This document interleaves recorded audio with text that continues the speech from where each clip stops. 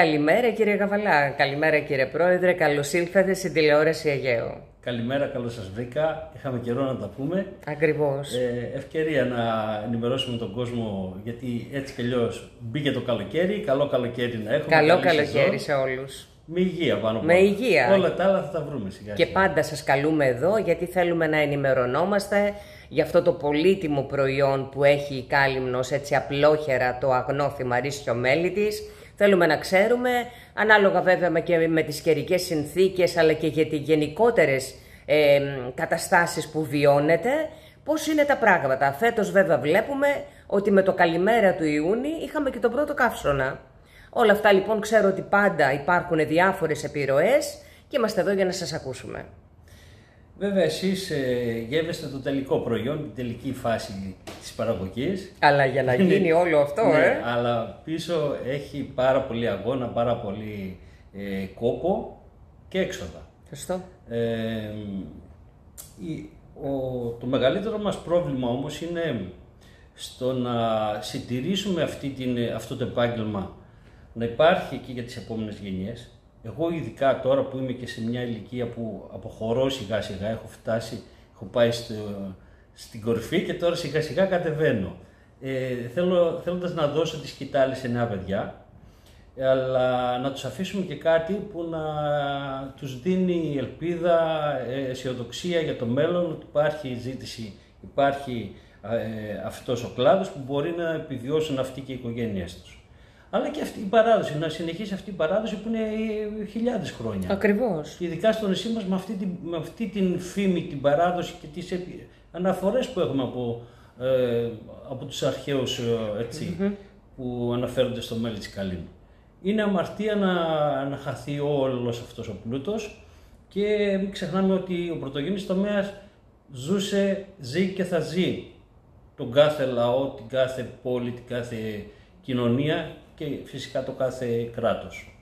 Έτσι είναι. Χωρίς τον πρωτογενή τομέα λοιπόν είμαστε τελειωμένοι. Ε, δυστυχώς όμως βλέπουμε στην Ελλαδίτσα μας ότι αυτό, αυτή η έννοια του, στο, της ε, ανάπτυξης του πρωτογενού τομέα παράλληλα με άλλους κλάδους και με άλλους τομείς ε, δεν, δεν υπάρχει.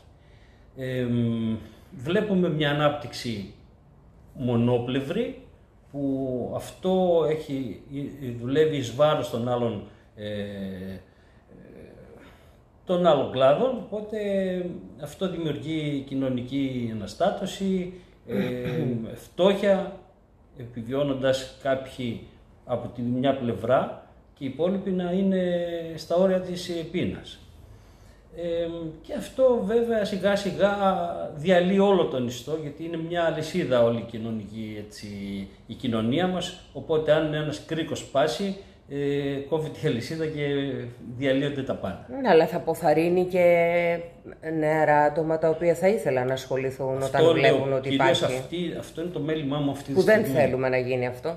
Και δυστυχώς έτσι τον τελευταίο καιρό είμαι λίγο εκνευρισμένος πάνω σε αυτό το, το θέμα γιατί βλέπω μια δράνεια από τις αρχές άρθρου προηγουμένου. Δεν το έχω ζήσει ποτέ μου αυτό. Είμαι όπως θυμάστε και εσείς είμαι 14 ετής πρόεδρος ενός ε, συνεταιρισμού που έχει κάνει αρκετά πράγματα στο νησί μας. Έχει, έχει φτιάξει ε, ε, τον κλάδο από την αρχή που εγώ είχα παραλάβει ένα διελειμμένο συνεταιρισμό το, που είχε δημιουργηθεί το 83, το 86 έκλεισε, τον παρέλαβα εγώ το 94.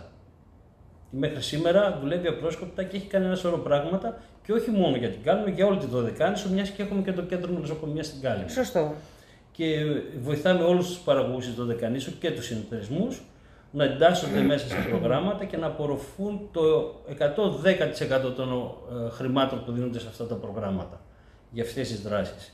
Αλλά όλα στη ζωή μας και ό,τι κάνουμε έχουν και ένα χρονοδιάγραμμα, ακόμη και η ίδια η ζωή μας. Ακριβώς, ακριβώς. Οπότε λοιπόν δεν Όταν- μπορεί κάποια πράγματα τα οποία ας πούμε τα μ, α, γνωστοποιείς, τα εξαγγέλεις, ε, τέλος πάντων γίνονται τόσα και τόσα για να φτάσουν σε ένα σημείο, να μην βρίσκουν τον τελικό δρόμο τους.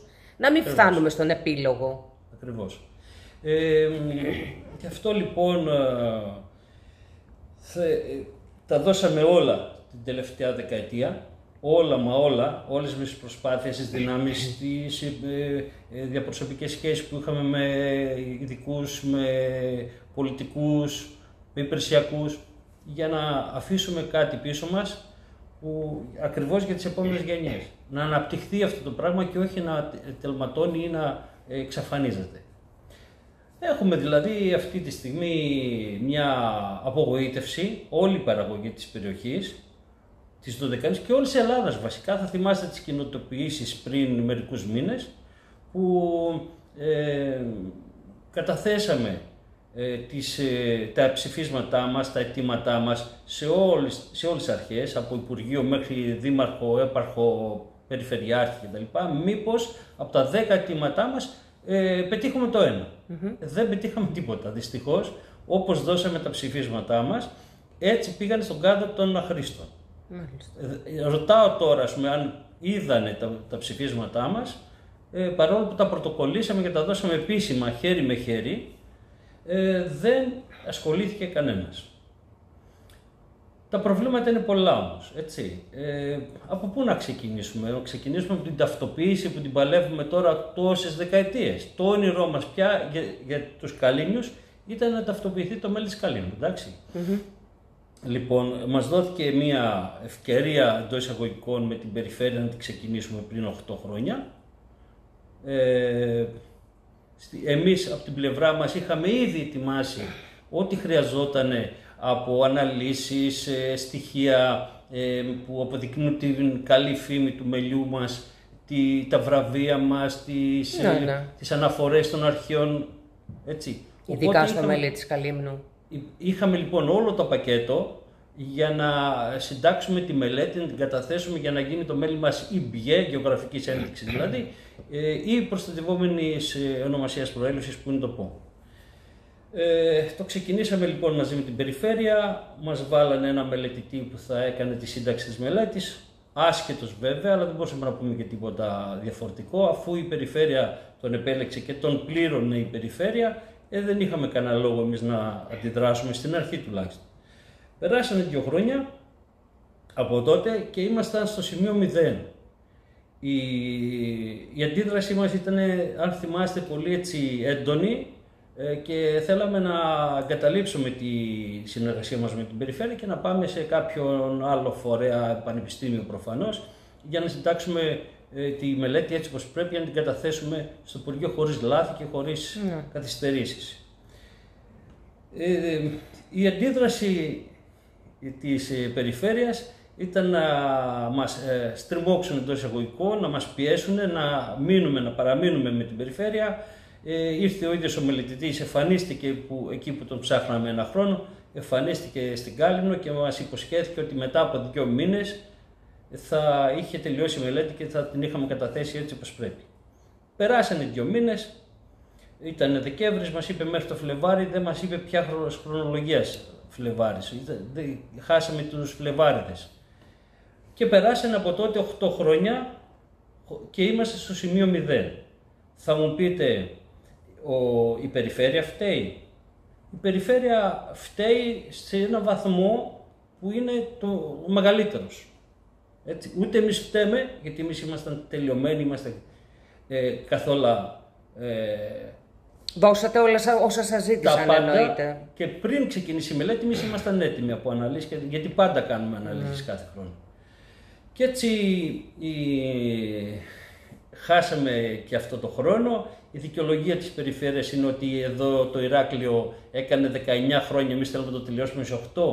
Άρα λοιπόν εμείς θα περιμένουμε 25 χρόνια για να γίνει αυτή η ταυτοποίηση. Και η μελέτη είναι 5-6 σελίδες που μπορούσε να τη συντάξεις ένα παιδάκι του Δημοτικού, ειλικρινά σας μιλώ, ε, γιατί το, το πιο σπουδαίο πράγμα μέσα είναι οι αναλύσεις και όλα αυτά τα στοιχεία που αποδεικνύουν την ταυτότητα του μελιού της Καλίνου και mm-hmm. τα υπόλοιπα είναι όλα απλά σύνταξη των στοιχείων που, των υπολείπων που είναι οι στοιχεία που αποδεικνύουν τη φήμη, ε, τα βραβεία μας, τις αναφορές των αρχαίων κτλ.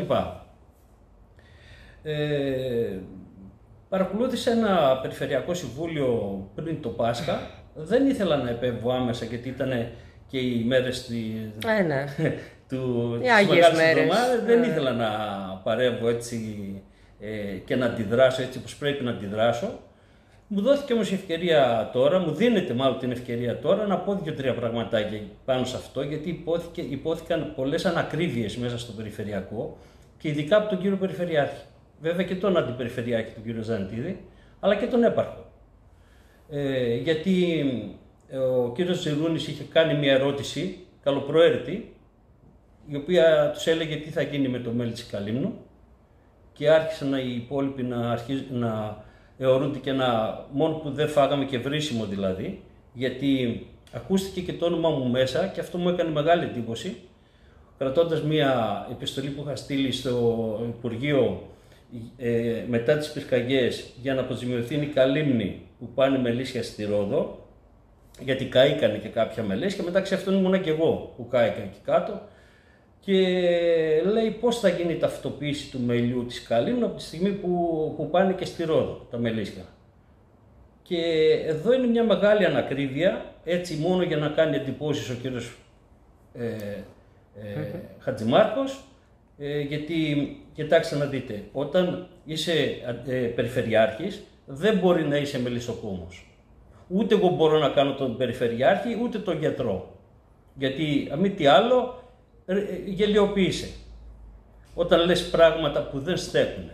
Εμείς λοιπόν στην περιφέρεια, στη, στη Ρόδο... Εξηγήστε όμως τον κόσμο το γιατί δεν στέκουν. Ναι, αυτό, αυτό θέλω να πω τώρα. Ότι τα μελίσια βγαίνουν από την Κάλυμνο για να αναπαραχθούν, όχι για να πάρουμε παραγωγή μελιού από, από την Κό ή τη Ρόδο ή τη Λέρο ή τη Μπάτμο, πάμε για να φτιάξουμε τα μελίσια μας σε περίοδο που η Κάλυμνος δεν έχει καλή ανθοφορία. Άρα λοιπόν θα του πω ότι αυτή τη στιγμή που επιστρέψουν τα μελίσια μας πίσω είναι κούφιες, είναι, είναι κερί και ξύλο. Δεν υπάρχει μέλι μέσα. Από τώρα και στο εξής μπαίνει το μέλι μέσα, το οποίο είναι καθαρά θυμαρίσιο μέλι καλύμου. Εμείς θέλουμε μόνο να φτιάξουμε μελίσια. Όχι μέλι, όχι, όχι παραγωγή. Από την άλλη δεν είσαστε βέβαια. Ναι. Αλλά να ανοίξω μια μικρή παρένθεση, και οι κόοι μετακινούνται και οι πάτμοι μετακινούνται. Ναι, αυτή, εντάξει, δεν θέλω να το ναι. ταυτοποιήσουμε. Ναι, ναι. Μιλάμε τώρα για, για την ναι, ταυτοποίηση που έχει κάποιου όρου mm-hmm. για να ενταχθεί στο πρόγραμμα. Πάμε στο δεύτερο. Ε, το δεύτερο είναι ότι δε, εάν περιμέναμε να γίνει η ταυτοποίηση πρώτα και μετά να μείνουμε στην κάλη, μάλλον να, να μείνουμε στην κάλη μέχρι να γίνει και η ταυτοποίηση, τότε θα φάμε άλλα 30 χρόνια θα είχαν ψοφήσει όλα τα μελίσια στην Κάλυμνο, έτσι. Και μετά που θα παίρναμε την ταυτοποίηση δεν θα είχαμε μελίσια. Άρα λοιπόν μέχρι να γίνει η ταυτοποίηση μπορεί ο κάθε παραγωγός να πηγαίνει όπου θέλει. Και τρίτον, δεν θα ενταχθούν όλοι οι μελισσοκόμοι στο πρόγραμμα της ταυτοποίησης, από τους 100 άντε να ενταχθούν οι 5, ναι. τουλάχιστον πιλωτικά στην αρχή. Αυτοί, ναι, θα έχουν τα μελίσια τους στην, ε, στην Κάλυμνο σταθερά. Και το άλλο είναι ότι εγώ σαν παραγωγός γιατί, γιατί ταυτοποιείται το μέλι, όχι ο παραγωγός, όπως εύστοχα το είπε και ο ίδιος. Εγώ, σαν παραγωγός όμως, μπορεί να έχω 500 μελίσια στην Κάλινο και άλλα 500 στη Ρόδο. Και η παραγωγή που θα βγαίνει στη Ρόδο να, πουλεί, να πωλείται εκεί. Στη Ρόδο ή οπουδήποτε αλλού. Το μέλι όμως που παράγεται στην Κάλινο ε, θα, ναι. θα είναι πιστοποιημένο και θα μένει κάλυμνο. Έτσι, ναι, θα ναι, ναι. πουλείται από την Κάλυμνο. Άρα λοιπόν δεν μπορείς να πεις ότι δεν μπορεί να ταυτοποιηθεί ε, το μέλι της Καλύμνου διότι δύο παραγωγοί πάνε στη Ρόδο τα μελίσια τους, άρα κόβεστε. Είναι δηλαδή ένα λάθος ε, επιχείρημα του κ. Χατζημάρκου, ο οποίος ε, κουνώντας την ε, επιστολή που έκανα εγώ στο Υπουργείο, ε, ισχυρίστηκε ότι δεν με ξέρει κιόλας, δεν τον ξέρω τον κύριο Γαβαλά, λέει, αλλά ήταν φάουλ αυτό που έκανε. Από πού και σκουφάλ, ήταν γκολάρα κανονική.